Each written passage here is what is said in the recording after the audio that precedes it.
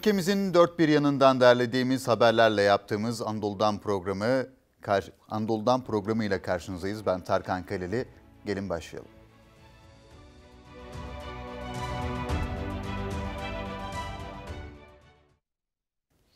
Tüm Marmara'yı etkisi altına alan kar yağışı İstanbul'da da etkili oldu. Kent genelinde yağış aralıksız devam etti. Yüksek kesimlerde kar kalınlığı 10 santimetreye ulaştı. Hafta sonu sokağa çıkma kısıtlamaları nedeniyle yollarda büyük olumsuzluklar yaşanmadı.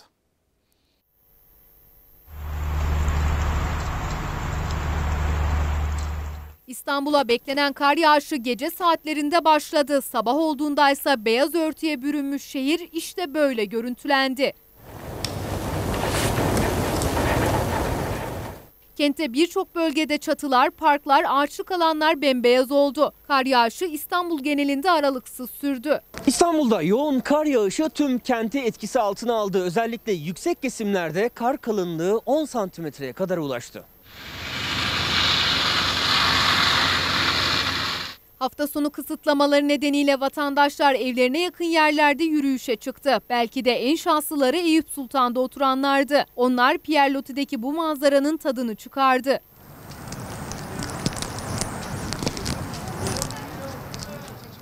Sokağa çıkma kısıtlaması nedeniyle yollar boştu. Buna rağmen kazaya karışan araçlar oldu. Kadıköy'de bir araç bariyerlere çarpıp yan yattı. Araçtaki iki kişi kazayı ufak sıyrıklarla atlattı. Kadıköy'de etkili olan kar yağışı ve şiddetli rüzgar nedeniyle bir ağaç devrildi. Gece saatlerinde meydana gelen olayda park halindeki iki araçta maddi hasar meydana geldi. İstanbul'da yoğun kar yağışı bazı bölgelerde tipiye dönüştü. Görüş mesafesi düştü. İstanbul Boğazı gemi geçişlerine kapatıldı. Hafta sonu sokağa çıkma kısıtlamasından muaf olan turistler yine dışarıdaydı. Tarihi Yarımada'da gezen ve karın tadını çıkaran yine onlar oldu. Belediyelerse tam mesaiye devam etti. Kent genelinde büyükşehir ve ilçe belediye ekipleri durmaksızın çalıştı. Kar küreme ve tuzlama çalışmaları aralıksız sürdü.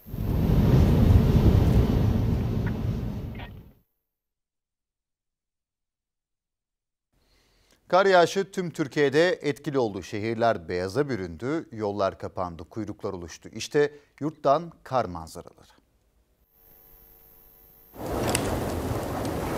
Kar yağışı Türkiye genelini etkisi altına aldı. İller beyaza büründü, kazalar meydana geldi. Yollarda kuyruklar oluştu.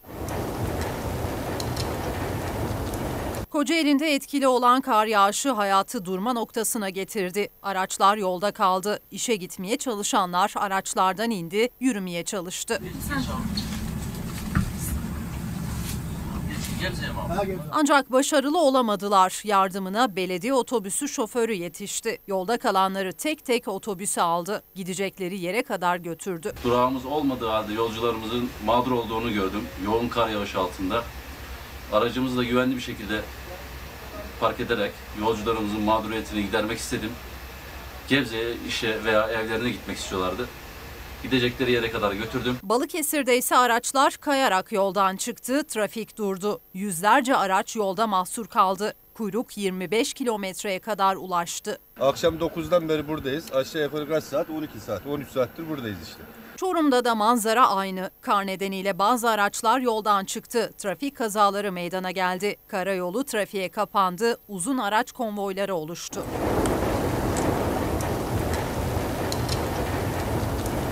Bursa'nın İnegöl ilçesinde ise seralar kara dayanamadı, yıkıldı. Mahsuller kar altında kaldı. Şu anda burasını ne yaparsan yap. Burası da Kırşehir. Görevli bir polis memuru vatan sevgisini bembeyaz örtüye böyle yazdı.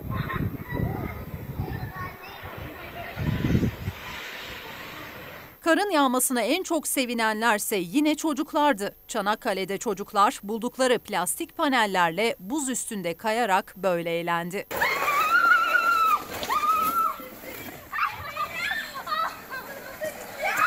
Hakkari'nin Yüksekova ilçesinde yaşayan bu adamsa Karlı Tepe'den sırt üstü kaymanın keyfini yaşadı. Erzurum'da bir kişi dondurucu soğuğa aldırış etmedi. Kıyafetlerini çıkardı, önce kendisini kara gömdü, sonra buz gibi göle girdi. Sokağa çıkma kısıtlamasını fırsat bilenler kayak merkezlerine akın etti. Otellerin neredeyse tamamı doldu. Pistlerde kayak ve snowboard yapan ziyaretçilerin eğlenceli anları ortaya renkli görüntüler çıkardı.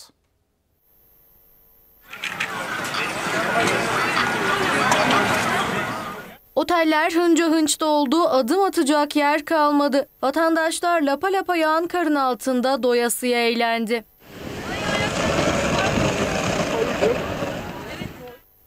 Görüntüler Uludağ'dan. Çocuğundan gencine pistlerde kayak yapmak isteyen acemiler renkli görüntülere sahne oldu. Kimi kayak öğrenmeye çalışırken kendini yerde buldu, kimi ise ayakta duramadığı için yerden kalkamadı.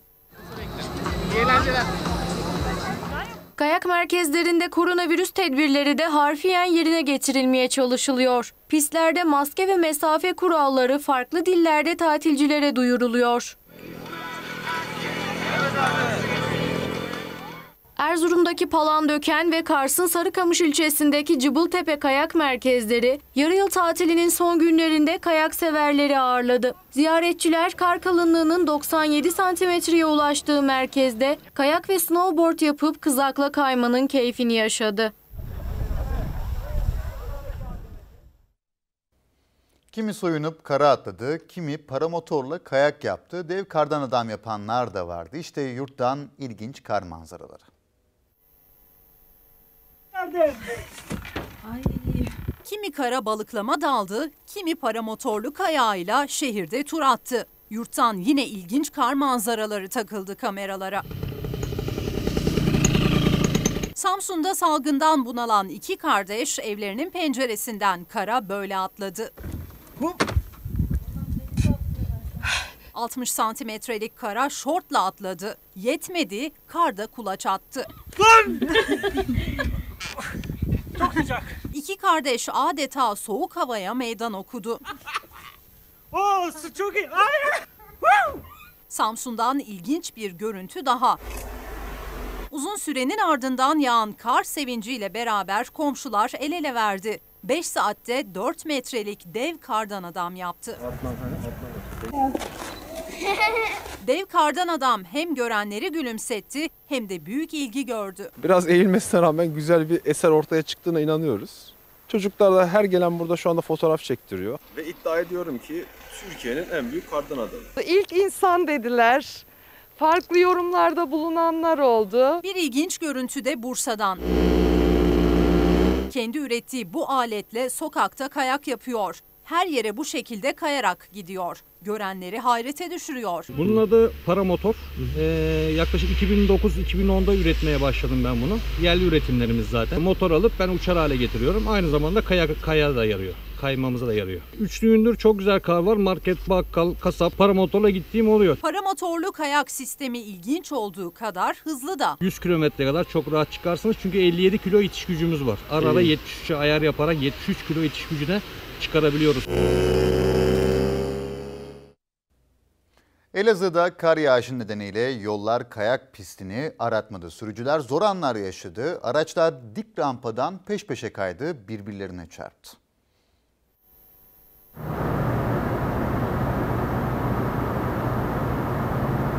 Peş peşe kaydılar. Birbirlerine böyle çarptılar. Görüntüler Elazığ'da kaydedildi. Çaydaçıra mahallesinde kar yağışı nedeniyle rampa buz pistine döndü. Rampadan çıkmaya çalışan bu pikap aniden kaymaya başladı. Yolun ortasında durdu. Ardından diğer araçlar tek tek kaymaya başladı.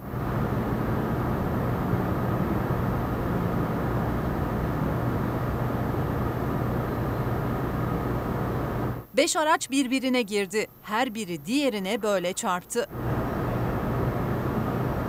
Bu sürücü ise çarpmayı önleyebilmek için kayan aracından indi. Kapıyı tutarak aracı durdurmaya çalıştı. Başarılı olamadı. O da aracı da böyle kaydı. Araçlar yoldan kaldırıldı. Tam olay bitti derken bu kez de başka bir pick-up kayarak geldi. Ortada durdu. Onun da sonu diğerleriyle aynıydı.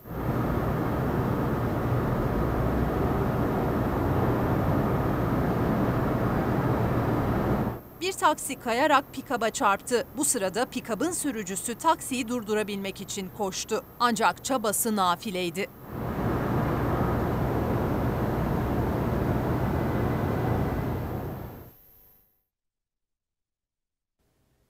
İstanbul'da bir çocuk kayan aracın altında kalmaktan son anda kurtuldu. Olay güvenlik kamerasına yansıdı. Ümraniye'de de çatıdan düşen kar kütlesi yayaları teğet geçti.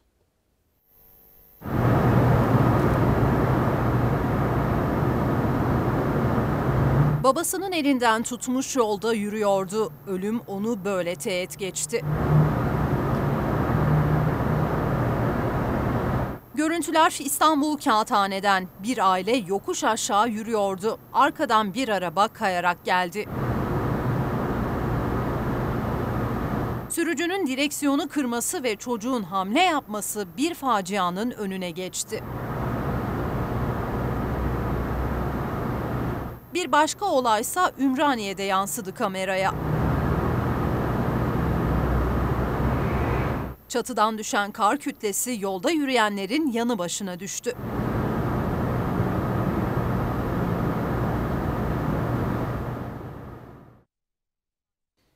İstanbul Eyüp Sultan'da bir liseye ait spor salonunun çatısı biriken kar kütlesinin ağırlığına dayanamadı ve çöktü. Altı araç çatının altında kalırken bir elektrik direği devrildi. Neyse ki içeride kimse yoktu.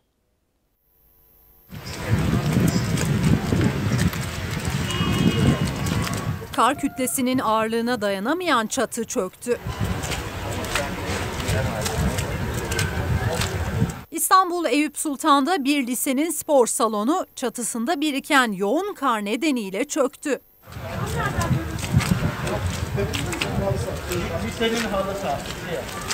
Altı araç çöken çatının altında kaldı. Bir elektrik direği de devrildi.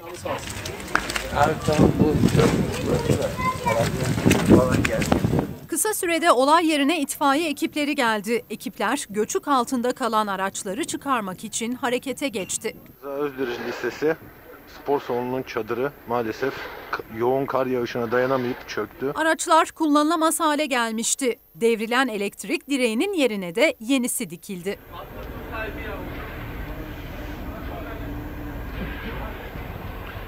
Araç sahiplerinden biri ise tek sebebin kar birikintisi olmadığını düşünüyor. Çökme sebebi çadırın üzerinde e, kar birik- birintisi.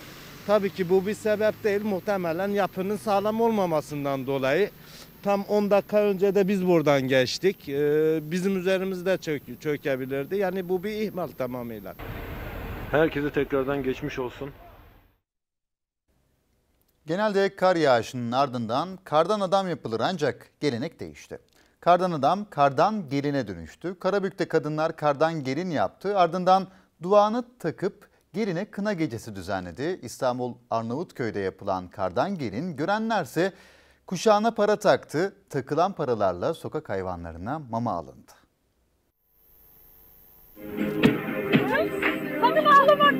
Kardan gelin yaptılar, bir de geline kına gecesi düzenlediler. bu. Ama ne yapalım Yer Karabük, gelenek değişti, kardan adam kardan geline dönüştü. Kadınlar maharetli elleriyle kardan gelin yaptı. Yaptıkları kardan geline bir de kına gecesi düzenlediler. Yüksek yüksek. Hadi be. Duvanı taktılar, şarkı söyleyerek etrafında dönmeye başladılar. Kına gecesi gerçeğini aratmadı. Burası da İstanbul Arnavutköy. Bir esnaf iş yerinin önüne kardan gelin yaptı. Gelinin kuşağına kadar her şey düşünüldü. Görenler önce şaşırdı. Sonra gelinin kuşağına para taktı. Hatıra fotoğrafı çektirmeyi de unutmadılar. Kardan gelin yaptık. Takı takıyoruz şimdi. O takı ta- paralarıyla da, toplanan paralarıyla da sokak hayvanlarına mama alacağız. Bir diğer adreste Samsun. Kar da güzel, gelenek de güzel. Hayırlı uğurlu olsun. Bafra ilçesinde dört esnaf işe koyuldu. Tüm dünyada gelenek haline gelen kardan adamı biz farklılaştırmak istedik. kardan gelin yapmaya karar verdik. Dört kişi yapmaya çalıştık bunu. Kestanelerden, çileklerden, turplardan, salatalık kabuklarından, esnaf arkadaşların da yardımıyla, şeritlerle, çiçeklerle, taçlarla güzelleştirmeye çalıştık. Gelin gören herkesin dikkatini çekti. İlgimizi çekti inşallah bir gün biz de giyeriz. Çok güzel olmuş kardan adam. Hayatımda gördüğüm en güzel kardan adam yani gelinlikli olmuş. Çok güzel. Emeğine sağlık yapanın. İstanbul Sarayburnu sahilinde bir grup arkadaş soğuk havaya aldırış etmedi, denize girdi. 10 kişilik bu grup denizin keyfini bakın nasıl çıkardı.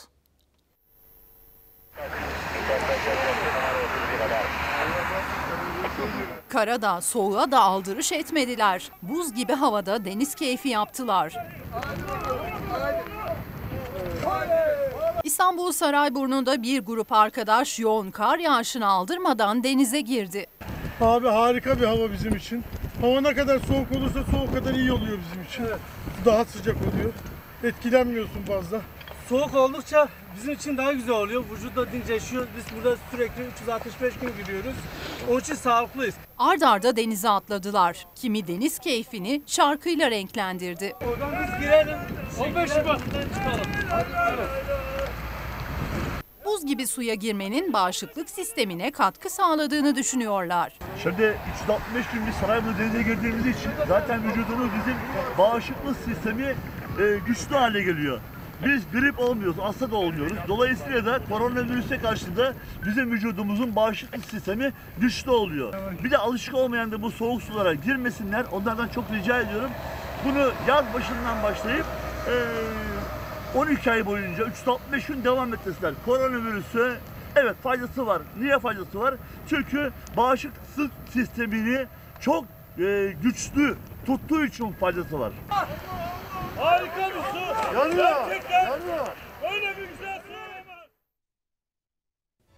Şimdi kısa bir ara sonrasında Anadolu'dan devam edecek.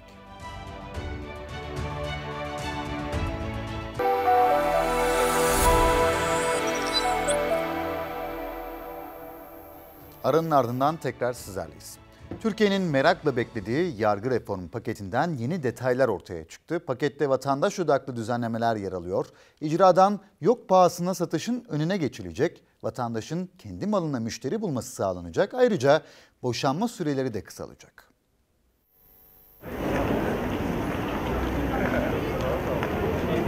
İcradan yok pahasına satış dönemi sona eriyor. Aylar hatta yıllar süren boşanma davaları tarih oluyor. Yargı ve ekonomi reformu paketinin detayları belli oldu. Türkiye'nin merakla beklediği yargı reform paketinin yeni detayları ortaya çıktı. Yargı ve ekonomi reformu paketinde vatandaş odaklı düzenlemeler yer alıyor. Reform paketiyle birlikte hakkında icra işlemi başlatılan vatandaşın kendi malına müşteri bulması sağlanacak. Böylelikle icradan yok pahasına satışın önüne geçilecek. Vatandaş odaklı düzenlemelerin yer aldığı paketler kapsamında icra satışlarına çeki düzen gelecek. Vatandaşa kendi malına kendisinin müşteri bulmasına olanak tanınacak. Böylece mallarını piyasa değeriyle satıp borçlarını kapatabilecekler. Adam alıyor 1000 liraya gidiyor bir yerde 300 lira 500 liraya okutuyor abi. Anladım aynen öyle. İcaz uca satıyor abi bence de mantıklı olur. En azından insanlar malını değerlendirebilecek. Malına müşteri bulacak. Borcu varsa borcunu ödeyecek. En azından o borç yükünden kurtulmuş olacak. Ama ya değilse 10 sene 15 sene icra şey depolarında çürüyüp gidiyor. Vatandaş açısından çileye ve hak kayıplarına neden olan idari işlemlere karşı dava açılma süreci de yeniden ele alınıyor. 60 günlük bekleme süresi 30 güne iniyor. Boşanma sürecinin hızlandırılması, çocukların en az etkilenmesi ve aile kurumunun zarar görmemesini sağlayacak mekanizma oluşturulması da gündemde. Davalarda tarafların haklı olduklarını ispatlama uğruna birbirlerine ağır ithamlarla yüklenmesinin önlenmesi için aile arabuluculuğu oluşturulacak. En azından icradan kurtulacaklar. İki tarafın içinde bence daha hayır olur. İki taraf da birbirine eziyet etmeden en güzel bence o. Günlük hayatımızda hepimiz bir şeyleri kafaya takarız. Bazen de haliyle kafamız karışır. Çoğumuz bunun özellikle beyin sağlığı için tehlikeli olduğunu düşünüyor. Ancak uzmanlardan şaşırtan bir açıklama geldi. Kafa karışıklığı bunamaya karşı koruyor. Takkam var ve onu takıyorum. Başka yok. Başka hiçbir şey takmıyorsunuz. Başka bir şey takmam ben. Vatandaş böyle diyor ama uzmanlardan herkesi şaşırtan bir açıklama geldi. Biraz kafa karışıklığı sağlık için faydalı. Hepimiz günlük hayatta bazı şeyleri kafaya takarız. Birçoğumuz da bunun sağlığımıza karşı olumsuz bir etkisi olacağını düşünür. Ancak uzmanlar tam tersini söylüyor. Bazı çetrefilli konulara karşı kafa yormak bunamaya karşı koruma sağlıyor. Bu doğruysa eğer ülkede kimse bunamayacaktır. Ben unutkan biriyim ama yakında böyle olmayacak galiba. Çok kafaya takmaya başladım ben de. Günlük hayatımızda karşılaştığımız birçok sorun zihnimizi meşgul ediyor. Yaşadığımız yoğun tempo ve stres kafa karışıklıklarını beraberinde getiriyor. Ancak uzmanlara göre birazcık kafa karışıklığı sizi bunamaya karşı koruyor. Biz toplum olarak durmadan düşünüyoruz şu an nasıl geçineceğiz. En çok kafaya ne takıyorsunuz peki? Ben öğretmen olduğum için eğitimi kafaya takıyorum şu an. Parayı takıyorum ben en çok kafaya. Uzmanların bu görüşü karşısında vatandaşın kafası karıştı. Bunalma riskini azaltır. Bence abi e, yanlış söylüyorlar. Beni daha çok bunalttı gibi geldi. yani hiç takmamak da iyi değil. Tamamen gamsız olmak da çok iyi bir şey değil. Gelecek kaygımızdan başka şeyleri takacak vakit bulamıyoruz. İstanbul Çekmeköy'deki hayvanat bahçesinin iki sevimli üyesinin görüntüleri şimdi sıradaki haberimiz. Evcilleşen 300 kiloluk Silva bakıcısıyla kar üstünde güreş tuttu. Kurt da karın keyfini çıkardı.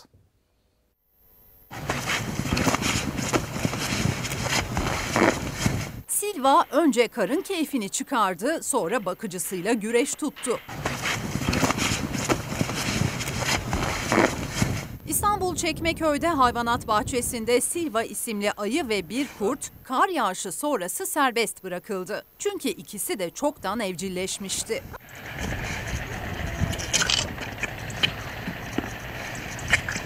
Silva ve kurt karın keyfini doyasıya çıkardı.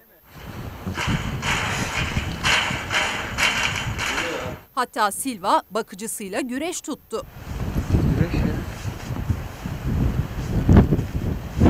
Silva zaten artık evcil bir dostumuz olduğu için bugün geyiklerle, kurtlarla, birçok canlımızla bile iç içe oynuyor. Şimdi 300 kilogram olan Silva prematüre olarak doğdu. Doğduğunda sadece 380 gramdı. Ve onun buradaki sosyal aktivitelerini daha da e, geniş çaplı tutmaya özen gösteriyoruz. Çünkü hala eğitimi devam ediyor Silva. Ve her kar yağdığında kar tanelerini adeta elleriyle yakalamaya çalıştığını görüyoruz.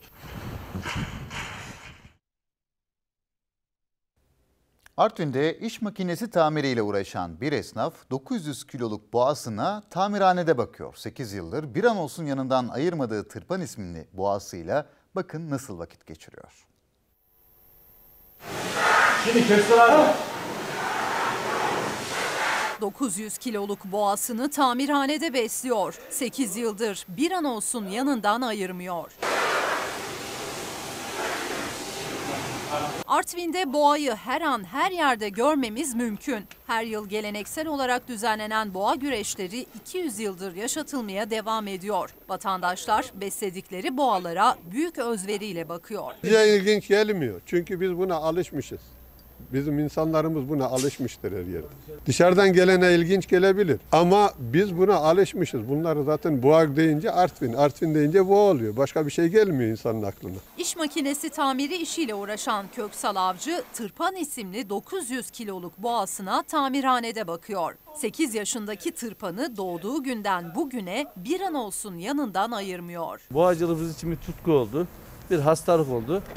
Ben de işlerim çok yoğun olduğundan boğamı e, devamlı göremiyordum. Bu dükkana bir ahır yaptım. Ondan sonra dedim devamlı beraber olalım. Sabah 8, akşam 8'e kadar beraberiz. Bu bir tutku. Tamirhane ortamına alışkın olan Tırpan ahırından çıktığı zamanlarda ustalarla vakit geçiriyor. Tırpan'ın bu uysal hali görenleri hayrete düşürüyor. Yaklaşık bu e, 8 yıldan beri, danalıktan beri beraberiz. Çocuk şefkatiyle büyüttük. Devamlı beraber olduğumuz için de hayvan da sahipleniyor. Diyor ki bu da benim sahibimdir. Dediklerini yapıyor. Gel diyorsun geliyor. Git diyorsun gidiyor. Tırpan'ın en büyük eğlencesi ise sahibini tamirhanede çalışırken izlemek. Yılın ilk karadut hasadı Mersin'in Silifke ilçesinde başladı. Geçen yıla oranla bir ay erken olgunlaşan karadut kilosu 17 liradan piyasaya sürüldü. Biliyorsunuz bugünlerde Türkiye'nin özellikle İstanbul, Ankara gibi yerlere kar, kış, kıyamet götürürken biz burada dut hasadındayız, örtü altında. Bir yanda kar buz, diğer yanda ilk hasat. Şubat ayının ortaları hayırlısıyla ilk karadut hasadımıza başladık bugün itibariyle. Dudumuzun cinsi Avustralya karadutu. Mersin'in Silifke ilçesinde örtü altında yetiştirilen karadutlar geçen yıla oranla bir ay önce olgunlaştı. Açıkta da çok erken çıkan bir tür bu ama örtü altında bu sene çok daha erken çıktı. Malum kış, kışlığını yapmadı bu sene. Geçen yıldan hemen hemen bir ay erken olgunlaştı dutlarımız, olgunlaşmaya başladı. İlk hasatta 100 kilo karadut toplandı. Kilosu 17 liradan İstanbul ve Ankara gibi büyük şehirlere dağıtıldı. Şimdi marka birazdan. Üreticiler hiç ilaç kullanmadan üretim yapıyor. Maliyetini düşünürseniz maliyet olayı hemen hemen sıfır. Çünkü bunda ilaç olayı hiç yok. Önceleri gübre de vermiyorduk ama muhtemelen topraktaki bitki besin elementleri azaldığı için gübre ister oldu. Biraz gübre veriyoruz. Ama ilaç sıfır. Onun için çok rahatlıkla, güvenle tüketebileceğiniz bir ürün. Bölgedeki karadut hasadı Nisan ayı sonuna kadar devam edecek. He, geçen sene de vardı. Ama, Erzincan'daki minik ikizlerin boyları kapıları açmaya yetmeyince kafa kafaya verdiler. Akla hayale gelmeyecek bir yöntem buldular. Onların buldukları yöntemde anneyi harekete geçirdi.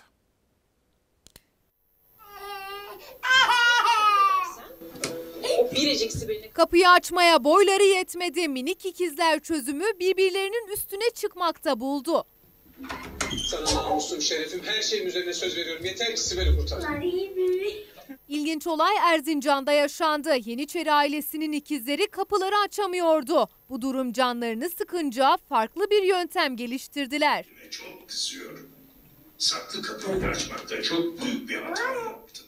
İkizlerden biri yere uzandı, diğeri onun üstüne çıktı, kapıyı öyle açtı. Geçmişi unutmak yerine ondan dersler çık. Anne Burcu Yeniçeri ikizlerin bu halini görünce neye uğradığını şaşırdı. Kapıyı kapatıyorduk. Sonra kapı açılıyordu. Anlamıyorduk nasıl açıldığını. Bir gün odaya girdim, kapıyı kapattım ve baktım kapı elleniyor. Birbirlerine zarar verecekleri endişesiyle anne de farklı bir yöntem geliştirdi. Kapıların önlerine yastıklar koydum ki Metehan Aslan'ın üzerine binmesin. Tehlikeli olduğunu biliyorum. Nasıl yapacağımı şaşırdım. Osmaniye'de bir hayvansever metruk alanda dört yavru köpeğin öldüğünü gördü. Yanlarına yaklaşınca içlerinden birisinin yaşadığını fark etti. Açlıktan ölmek üzere olan yavru köpeği bakın nasıl yaşama bağladı.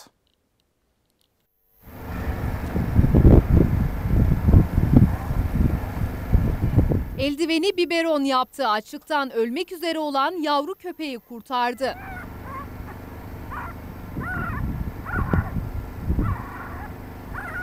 Halil Koç mahallesinde dolaşmaya çıkmıştı. Metruk bir alanda yerde yatan köpek yavrularını gördü. Köpeklere daha yakından bakmak istedi. Yanlarına gidince gördükleri karşısında şok geçirdi.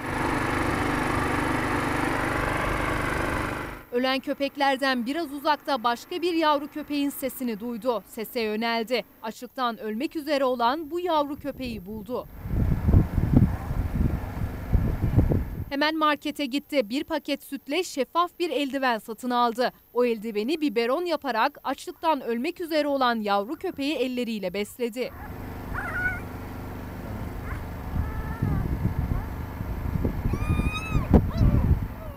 Zor olsa da yavru köpeğin karnını doyurmayı başardı. Sonra evine götürerek sahiplendi.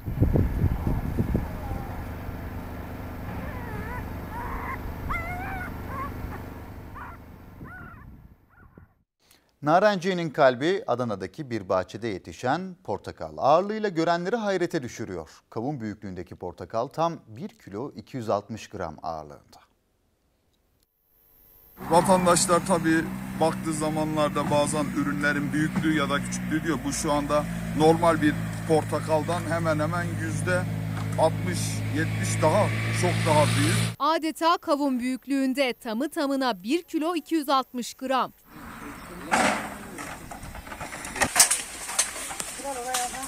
Adana'nın Kozan ilçesindeki bir narenciye bahçesinde çalışan işçiler ağaçta büyük bir portakal olduğunu fark etti. Dalından kopartarak tarttıklarındaysa gözlerine inanamadı. Portakal 1 kilo 260 gram ağırlığındaydı.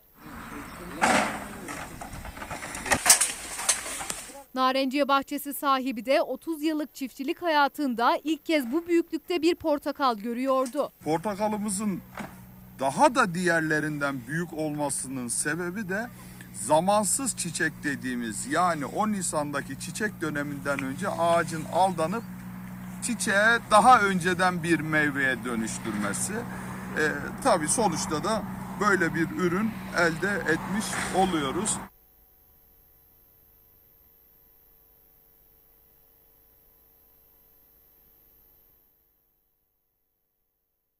Bu haberimizle birlikte Anadolu'dan programının sonuna geldik. Hoşçakalın.